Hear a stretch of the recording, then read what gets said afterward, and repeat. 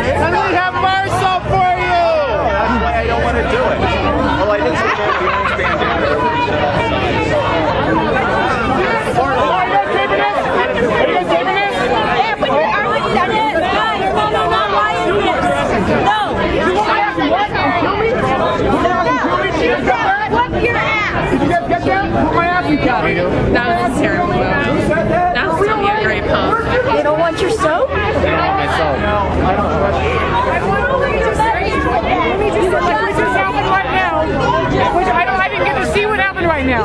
That person, no, no, I'm not disputing that. What I am saying to you is that not everybody is a representation of us. But it makes there are things but I agree. because when stuff like that happens, It's it looks bad on you guys. I agree with you. I can't dispute that. I'm an honest, fair person. You're right. I don't dispute that. We need respectful But the- discourse. That doesn't yes, help. and we want respectful discourse with you. We do. But- we see some common ground. In some you respect, know? though, I think respectful discourse also includes knowing what the hell you guys want. I mean, what, Well, I mean, outside can of beating you- up on corporations, I which is have just time, ridiculous, no. which is just We have, you know, that's that's one of the weakest arguments that keeps being presented. That we don't know what we It want. is, so it is a We good have a argument. long, well, we have a long list. I don't have time to name them all for a while right Well, every now. time I see a Well, list, I've read the Declaration of the Occupation of New York City. every I'm time I not, see you're a not in New York City. You're in Denver. I know, I understand Every time I see a that. list But of- of but do you have a Declaration of the Occupation of Denver? We are in the process of working on a mission statement right now. But But, we have many issues that we have already have a long list of what we think that needs to be addressed. For example, and and you may not agree with me, but you're asking me for issues. I'll tell you.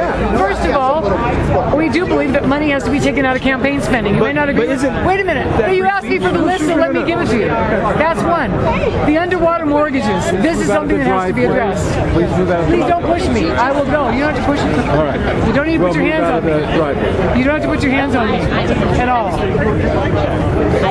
I have a list. I don't have time to give it to you now, but there's. Could you give me a website? Yes.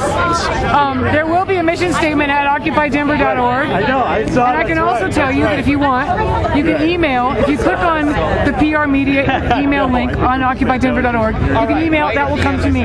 Send me your questions. I'll be glad to pass it out to our team, and we'll do the best we can to answer your Questions. And what's your name? My name is Jeannie. It's J E A N N I E. It's Hartley.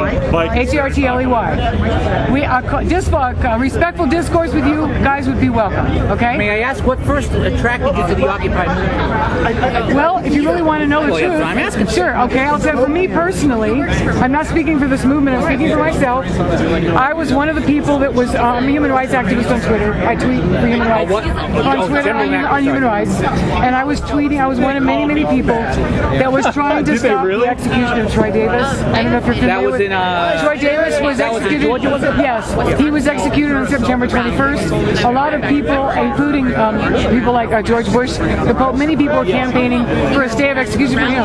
I was in the process of tweeting about him when I came across a hashtag that said Occupy Wall Street. I didn't know what it was. I'd never heard of it. I started doing research about it. I started going to the site. I started talking to people. I started making phone calls and realized that there were a lot of things that were very much in common with, with things that I saw wrong with the country.